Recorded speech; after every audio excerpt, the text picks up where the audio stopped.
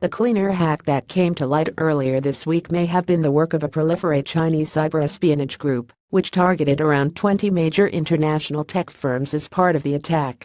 Earlier this week, it was discovered that CCleaner had been hijacked to spread a backdoor malware to over 2 million unsuspecting users. However, further analysis into the incident has revealed that the attack could have been carried out by a Chinese hacker group called Axiom, also known as APT-17, Deputy Dog, Group 72, Tailgater Team, Hidden Links or Aurora Panda. Security experts found similarities in the CCleaner malware code with tools used by Axiom hackers. Kaspersky Lab Director of Global Research and Analysis Team Costin Raiu was the first to spot the similarities. The code overlap was backed up by researchers at Cisco Talos, who said this was important information but refrained from confirming attribution. Researchers at Cisco Talos also said that the hackers behind the attack infected 20 major international tech firms.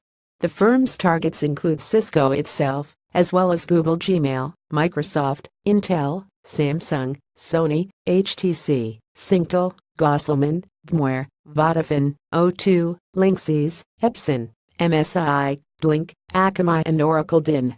Cisco Talos researchers said that FAVE notified the affected companies about a possible breach.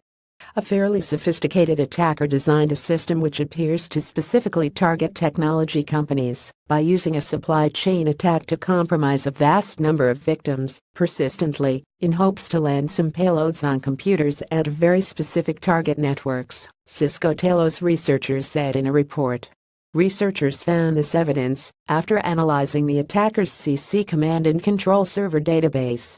The database contained two lists, one listing 700,000 systems infected by the backdoor malware and another that tracked all the computers infected with a second-stage malware. Previously, researchers were unaware of any of the victims having been infected by a second-stage malware. However, the CC server database revealed that 20 systems were infected by a second-stage malware.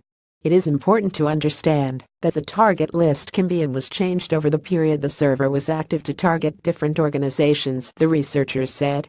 Researchers were also able to determine that around 540 computers of government across the world and 51 systems belonging to international banks were among those compromised by the attack.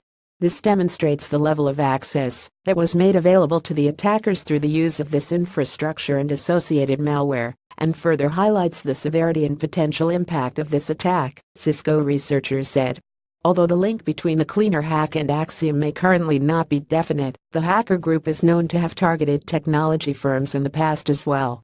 Researchers at Intezer, who also analyzed the CCleaner malware code, said that the code overlap noted indicates a clear connection to Axiom.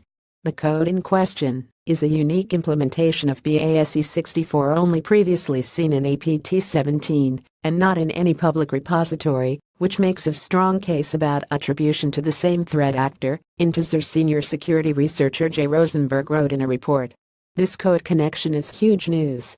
APT 17, also known as Operation Aurora, is one of the most sophisticated cyber attacks ever conducted, and they specialize in supply chain attacks. In this case, they probably were able to hack CCleaner's build server in order to plant this malware. Operation Aurora started in 2009, and to see the same threat actor still active in 2017 could possibly mean there are many other supply chain attacks by the same group that we are not aware of, Rosenberg added.